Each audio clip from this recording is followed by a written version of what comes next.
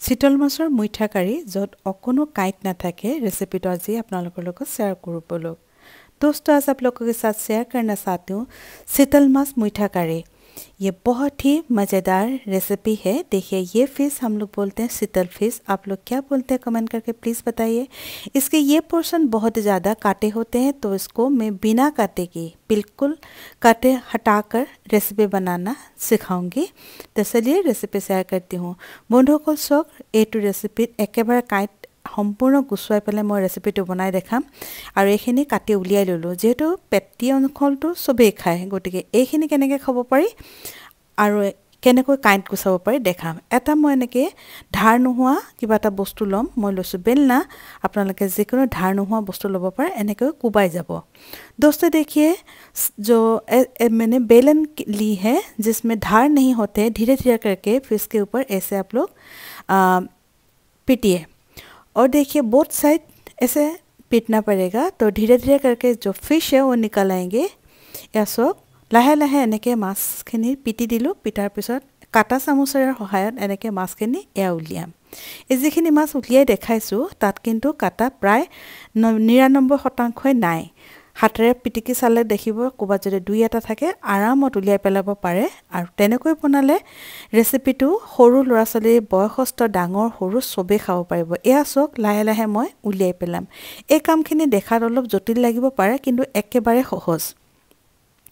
কেইবাবাৰো ৰিপিট কৰাৰ পিছত চাওক এয়া মই ফালি দেখাইছোঁ কটাৰী এখনৰ সহায়ত লাহেকৈ চুচি দেখাম বাকী ৰখা মাছখিনিও ওলাই আহিব दोस्तों देखिए ये प्रोसेस बहुत ही आसानी से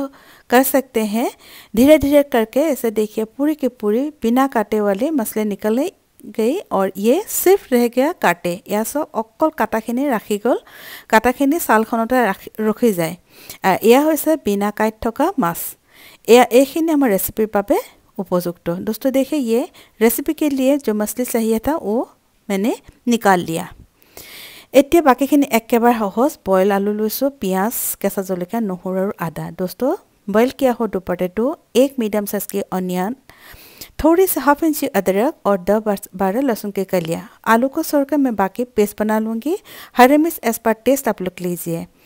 কেঁচা জলকীয়াৰ পৰিমাণটো আপোনালোকে নিজৰ সোৱাদ অনুসৰি ল'ব কম বা বেছি আৰু আলুখিনিও এনেকৈ পিটিকি ল'ব।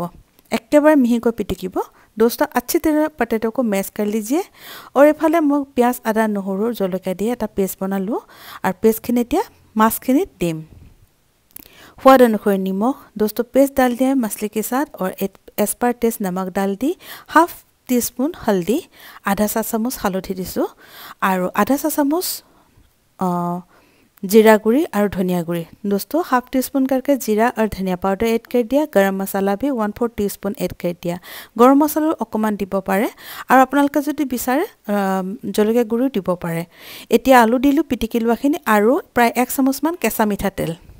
दोस्तों अभी मैश किया हुआ पोटैटो ऐड कर दिया और दे दिया हाफ नहीं तो एक वन टीस्पून आप लोग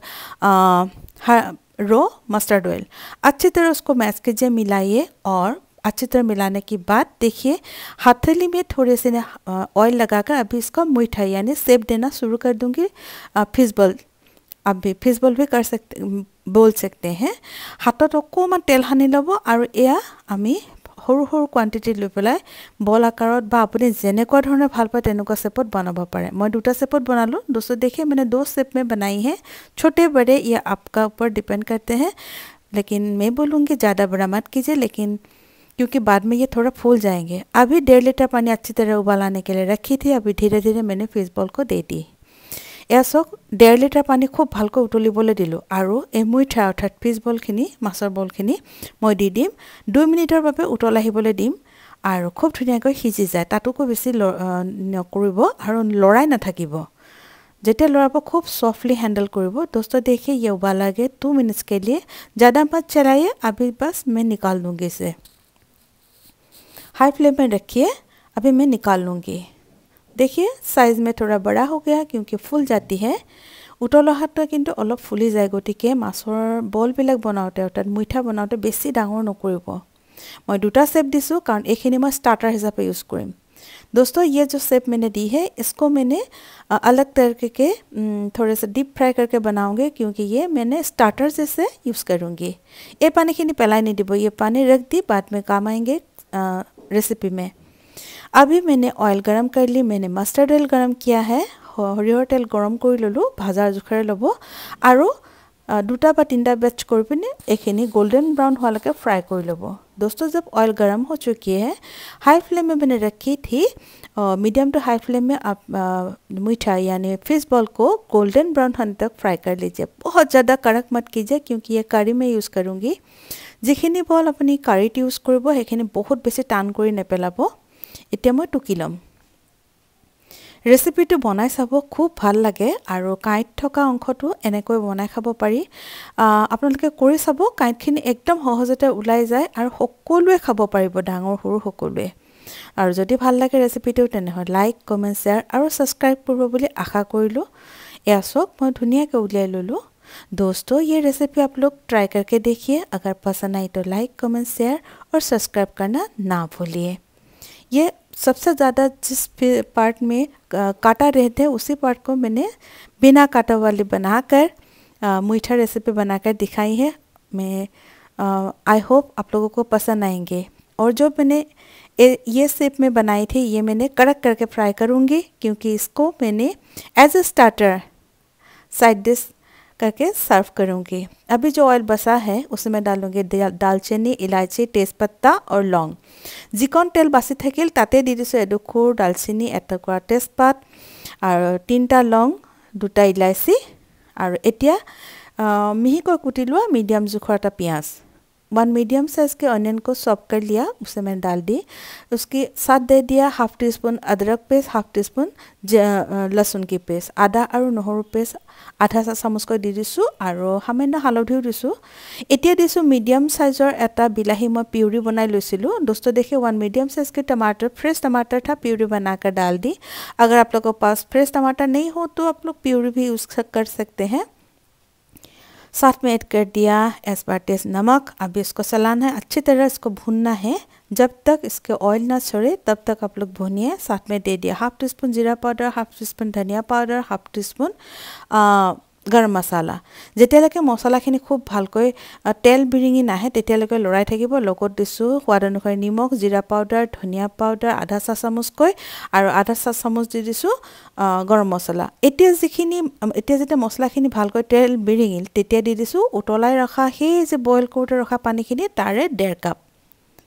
दोस्तों अभी इधर पानी मैंने जो यूज़ किया था तो one and half cup add करके अच्छी उबर आने तक रखी थी और जो बॉईल करने का टाइम मैंने साइड करके रखी थी पानी वही यूज़ किया कवर करके रखी और आ, मैंने जब अच्छी उबल आई तभी मैंने फिश बॉल को दे दिया फिश বলখিনি অৰ্থাৎ মিঠাখিনি যেতিয়া উতল আহিলে তেতিয়া দি দিলোঁ আৰু ঢাকন মাৰি উতলিবলৈ দিলোঁ মাত্ৰ দুই মিনিটমান উতলিলেই হ'ল তেতিয়া দি দিছোঁ এক চামুচ ঘি